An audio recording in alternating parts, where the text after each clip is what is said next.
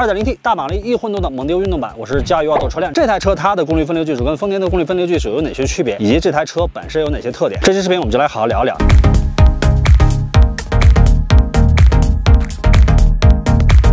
首先，我觉得这台车第一个最吸引我的点就是它的尺寸和颜值，接近五米的车长，超过两米九的轴距，整个的轴长比超过了零点五九，而且呢，它的车高只有一米六，车宽接近两米，所以是一个非常宽体低趴的造型。而且呢，它的前脸也是这种三 D 龙鳞的设计，当你靠近它的时候，它的龙鳞会自动的翻起，营造出一种呼吸的效果。这套前脸其实大家就很熟悉了啊，福特的家族化设计，走到哪儿呢，它的辨识度一定是足够的。再加上这台车呢，本身用了黑黄两种颜色的撞色设计，看起来是非常的醒目，特别是在阳光的照射下，非。常的耀眼，非常的运动，而且它的满载离地间隙也是达到了一百六十八毫米，比一般的轿车它的通过性要更好，所以它是一个兼具了轿车的低趴造型和 SUV 的通过性两种造型风格于一身的这样一种跨界设计。我觉得它就从造型本身来说，就特别适合那些不想去随大流，想追求自己独树一帜风格的那种比较有自己独特品味的那群人。我们来体验一下它的车内空间表现怎么样？以我幺七八的身高实测，前排头部大约一拳，前排的座椅宽度大约五十一公分，表现还算中规中矩。来到第二排，腿部空间非常惊喜啊，足足有。四十公分的宽度，这一点体现了它二九四五大轴距的优势。头部空间约有四指，后排座椅宽度达到了五十三公分，表现也不错。我们蒙迪运动版这种跨界造型，掀开之后尾箱就显得特别大啊！它的官方数据已经超过了五百升。那我们今天来实测一下，看看它到底能装多少个行李箱。我们现场准备了两个二十八的，四个二十四的，还有两个二十的，看看它后备箱在座椅不放倒的情况下能不能装进去。不是不知道，原来这台蒙迪欧运动版这么能装，总共放了几个箱子？一二三四五六八个箱子。